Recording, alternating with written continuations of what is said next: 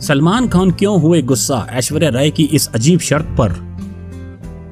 जैसा कि सभी जानते हैं, बॉलीवुड एक्टर रणबीर सिंह और दीपिका पादुकोण फ़िल्म पद्मावती में मुख्य भूमिका में थे।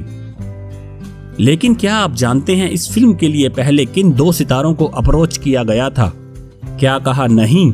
तो चलिए हम आपको बताते हैं।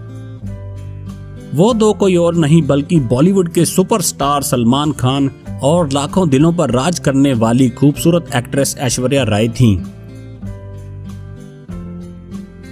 जी हाँ पूरे 18 साल बाद हम एक बार फिर सलमान खान और ऐश्वर्या राय को साथ में देख पाते दोनों पद्मावती मूवी के लिए राज़ी भी हो गए थे, पर ऐश्वर्या ने एन मौके पर एक ऐसी शर्त रख दी जिसकी वजह से दबंग सलमान खान भड़क गए और फ़िल्म करने से इनकार कर दिया। आखिर क्या शर्त थी ऐश्वर्या की जो सलमान खान को इतना गुस्सा आ गया और उन्होंने ऐश को सीधे सीधे शब्दों में नो बोल दिया?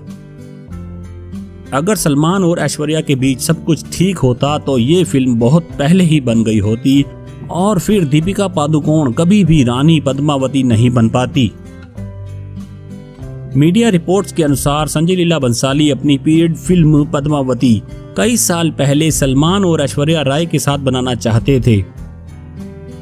सलमान और ऐश्वर्या ने पद्मावती के लिए अपनी सहमति भी दे दी थी, लेकिन एन वक्त पर भंसाली के सामने ऐश्वर्या ने एक ऐसी शर्त रखी जिसने सारा खेल ही खराब कर दिया और ये फ़िल्म नहीं बन सकी।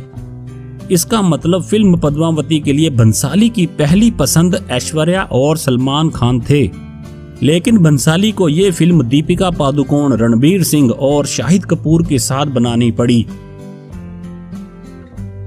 जिस समय बंसाली पद्मावती बनाना चाहते थे, उस वक्त सलमान और ऐश्वर्या के रिश्तों में खटास आ चुकी थी और ऐश्वर्या ने बंसाली के सामने इस फ़िल्म को लेकर एक मुश्किल शर्त भी रख दी थी।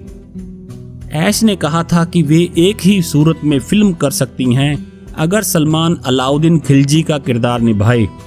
यानी ऐश की शर्त के अनुसार सलमान को इस फ़िल्म में एक विलेन का किरदार निभाना था। इसका मतलब ये भी था कि फ़िल्म में सलमान और ऐश्वर्या का साथ में एक भी सीन नहीं होता। बस ऐश की इस शर्त पर सलमान खान को गुस्सा आ गया और वो इसके लिए राज़ी नहीं हुए। इस सब पर बात बिगड़ गई और बॉलीवुड की इस खूबसूरत जोड़ी के साथ पद्मावती नहीं बन सकी।